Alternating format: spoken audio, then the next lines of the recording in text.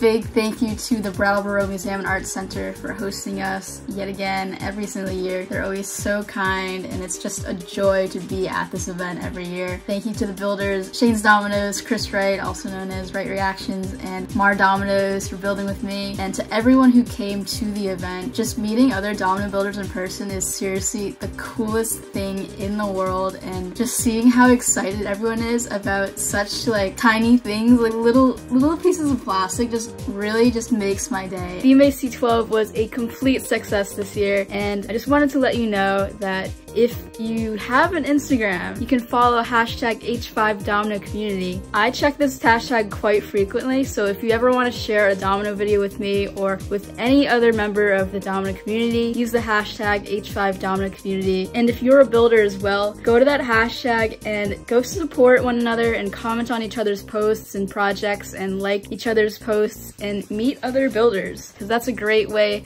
to learn about others in the community and just support one another. That's what we do here on the H5 Domino Community channel. We just support one another. Yeah, if you have Instagram, go follow H5 Domino Community. I post a lot of your projects on my Instagram stories occasionally just to feature them and so other people can find your work. Thanks again for watching this video, and as always, I'm Lily slash Hevesh5, and keep on building.